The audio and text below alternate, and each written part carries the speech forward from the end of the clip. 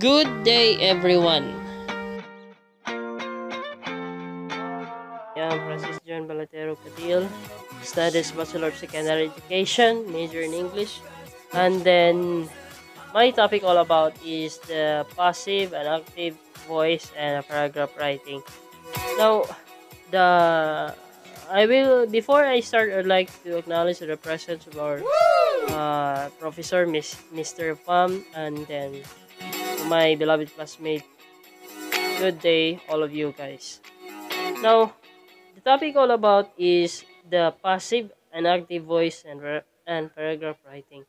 The objective the objective of this one is to write well structured paragraph effectively and creatively.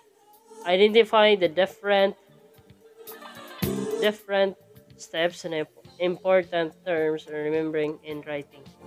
Now, in writing, we will important this one to learn. No? And then, we'll walk through our topic, our main topic. We will uh, know uh, where do we begin to write and then we will know also to identify the subject, verb, and object we have here the subject, verb, object. Example, the boy kicked the ball. The subject there is the boy, and then the verb is kick, and the object is ball.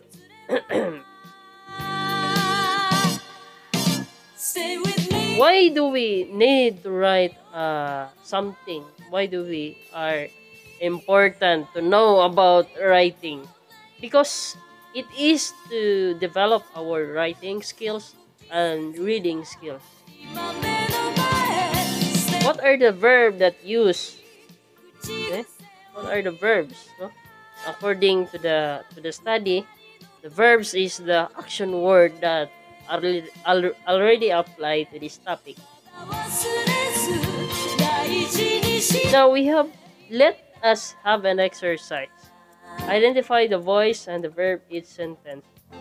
And then we have number one, Raul presented an interesting report. number two, baseball removed an old paint. And then the national budget was approved by the Congress. So we will know the active and passive voice in this one. Sorry for my inconvenient explanation, guys, because I am sick. I, I am I have fever.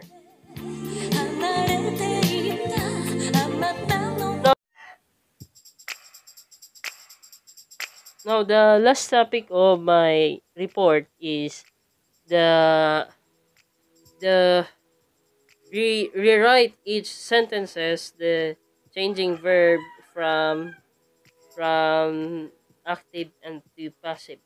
This one uh, we have 10 items that we will we will learn about. Number one, we have wrote a novel, and then the uh, passive voice uh, novel was written by her. her. Uh, number two, many people was admired Rodrigo R. Duterte. Rodrigo R. Duterte was admired by many people. Number three, he he re repaired the dripping faucet. Number uh, three, also the passive voice is the the dripping faucet was repaired by him. Now, as you notice that the word of the, the sentence already has been changed, has been changed already by by changing the the paragraph, and then the idea is still there. The idea is has been there also. Now, the assignment I, I will give an assignment. And, uh, this is the write a brief description of art you or one or your friends created use both active and passive voice and verbs. Circle is verbs and identify the voice.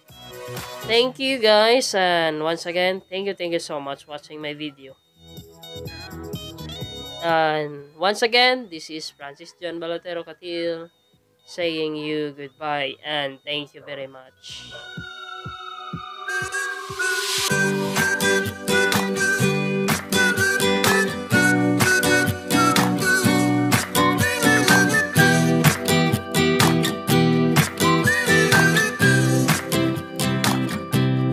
Take me to the place I used to